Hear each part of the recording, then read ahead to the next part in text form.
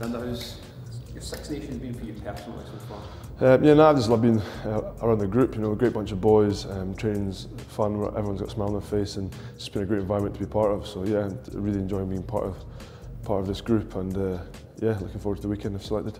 How uh, how big a, a, an aim was it for you after the World Cup to, to come in and, take the starting jersey and, and, and, get a run there again wearing number three?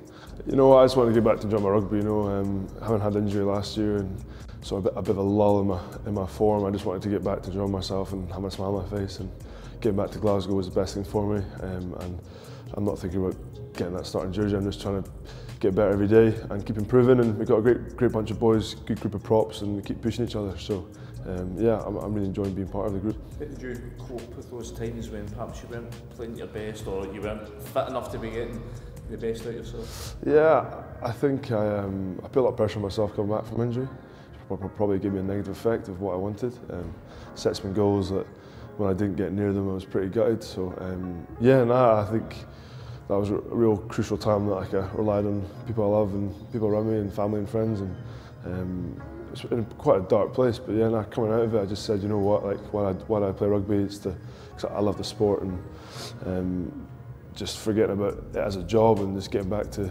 enjoying myself and getting back with Glasgow was just awesome for me and managed to bring that through here and it's just been I'm just I'm, I'm enjoying my rugby.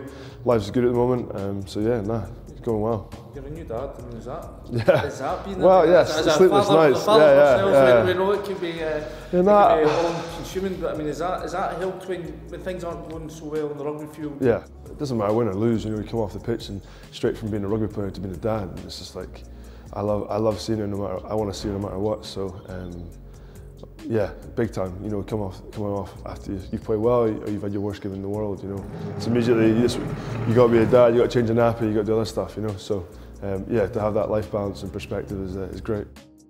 Having played a lot of these guys in under 20s, for me personally, um, I know how, a lot of them play and how, what fantastic players they can be. You know, I remember playing DuPont at 20s and he was still as good as he is now. So, um, yeah, I, they're a very exciting team. They've got some great players, but they've also got some uh, chinks in the armour that we're going to try and expose. So, yeah, um, it's going to be a challenge, don't get me wrong, but one that I think we can definitely win.